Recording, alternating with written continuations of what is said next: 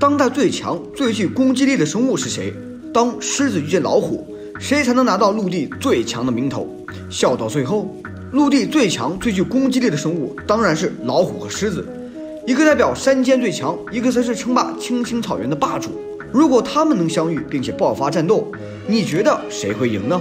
首先，咱们来分析狮子的资料。狮子主要分布在非洲草原上，是非洲最顶尖的猫科食肉动物。在青青草原上，那绝对是狮子说了算，那喜羊羊来了都不好使。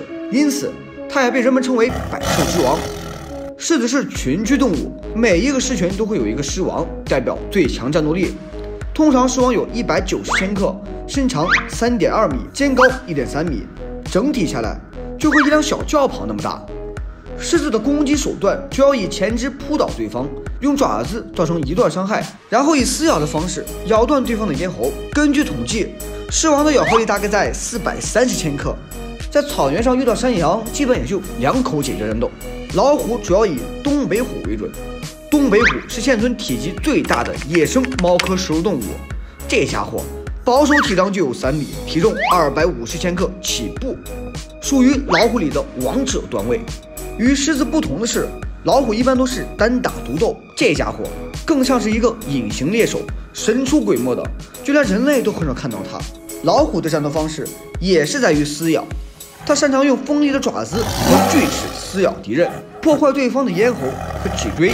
根据测试，东北虎的咬合力大约在四百七十千克，在这方面，老虎占据了优势。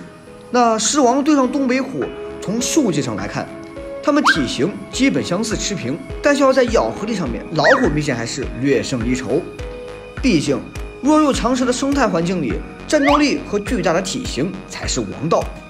不过狮子也有很大的优势，那就是它们很善于伪装自己。众所周知啊，雄狮非常喜欢烫头，脖梗处的鬓毛显得雄狮体型非常巨大。哎，其实它也就皮包骨头。再加上狮子的性格本就是无所畏惧，气势上。很容易就压倒对方，更何况啊，老虎一般都是依靠气势对决，看到狮子这样的，一般都溜之大吉。毕竟动物世界里没有医生，一旦受到致命伤，基本就宣告命不久矣。